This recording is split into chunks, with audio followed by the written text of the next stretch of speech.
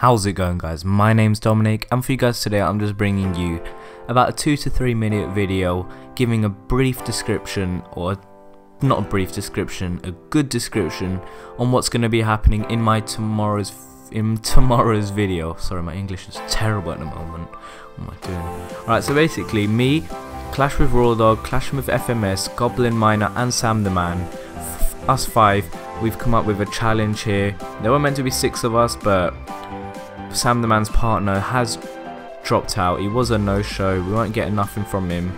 So Sam the Man has put, put himself forward to do it himself, all four attacks. And basically what's happen what's happening is mm, we've been allocated into well randomly allocated into three teams. There are three teams, teams of two.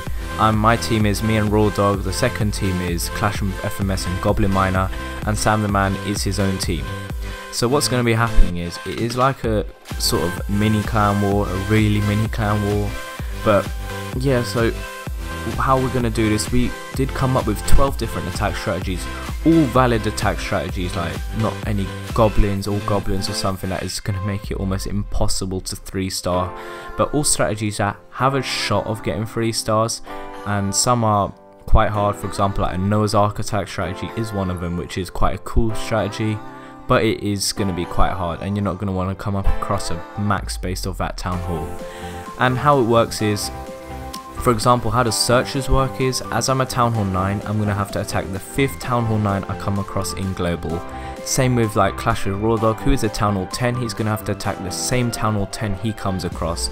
And same for someone like Goblin Miner who's a Town Hall 8, he's going to have to attack the Town Hall 8, the 5th Town Hall 8 he, 5th Town Hall 8 he comes across with the attack strategy he has. So each of us get 2 attacks except for Sam the Man who has 4 attacks I have two different attack strategies. One is a Mass Dragon, which used up about 500k of my of my elixir. Such a waste of elixir, honestly. And my second attack strategy was a giant healer attack. I have done all the attacks, they were fun to do, really fun to do, and just hopefully we win because the loot, you don't get nothing if you win, but if you come second, you're going to have to put half of your storages outside, and if you lose you're gonna have to put all your storages on the outside of your base for at least one attack. So yeah that's pretty much sums up the video like the little introduction. It is going to be happening tomorrow. I will upload it tomorrow. It's going to be a long video so hope you won't mind that. But anyways that's it from me. Hope you look forward to it. I'm definitely going to look forward to it. I'm going to look forward to the final result. Hopefully we win. But anyways that's it from me guys and peace